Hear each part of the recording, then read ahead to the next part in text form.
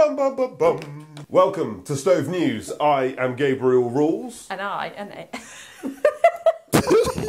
Today's top story is Clearview Stoves, what's happening with them.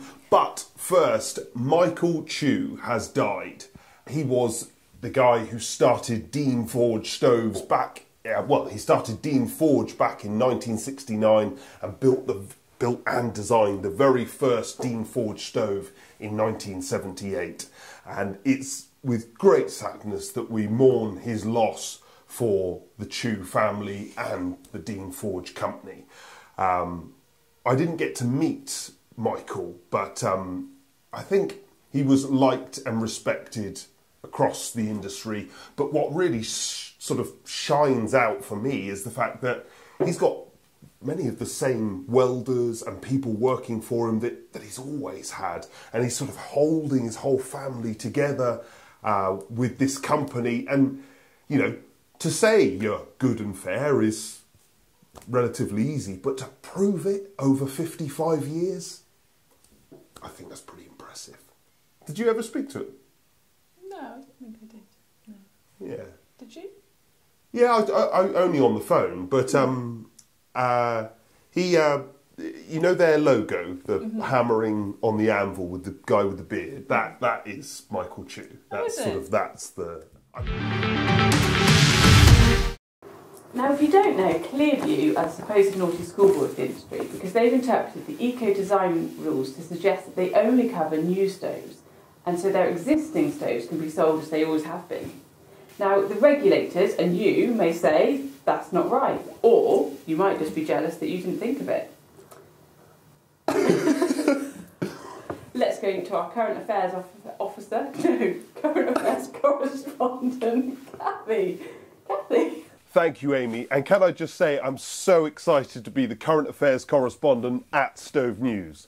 Back to Clearview, the Office for Product Safety and Standards have issued two notices to CVS Energy, trading as Clearview Stoves, for eco design and product labelling. Obviously, they've been asked to provide that information, but given that it doesn't exist, they have not been able to provide. Thank you very much, Kathy. No, I need to say that.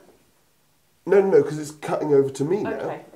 This, for me, is quite an interesting one because um, obviously there are loads of manufacturers out there who have spent hundreds of thousands of pounds, maybe millions of pounds, redesigning their stoves, bringing them up to these higher levels of efficiency and eco design uh, accreditation and all of that. Um, and obviously, Clearview has avoided all those costs and just stuck with their existing range. Um, now, I'm keen to say, obviously, they're being accused of lots of things, and they have already been accused of several things, and so far, at least, nothing has stuck.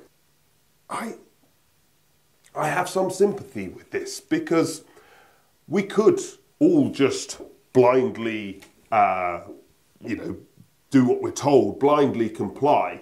Uh, and I'm not saying that's the wrong thing to do, but I am sort of glad that even if it's just for the sake of variety, that there's some people that say, no, I'm going to push back a little bit. That's surely part of freedom, part of part of the tussle. Um, anyway,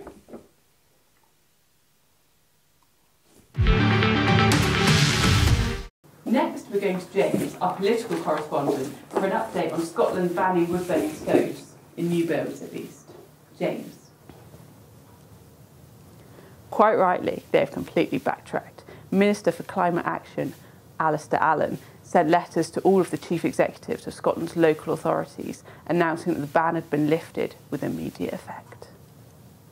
Thank you, James. And finally, um, we're obviously in the middle of the heating season, but we've been talking to lots of shops across uh, the UK, and you can still get a stove installed. There's stock, there's space in fitting diaries. There's not much from what I hear, but obviously, if you do want to reap that, beat that rush for Christmas and get a stove in this year, you're within slim chances, but I think it might be possible.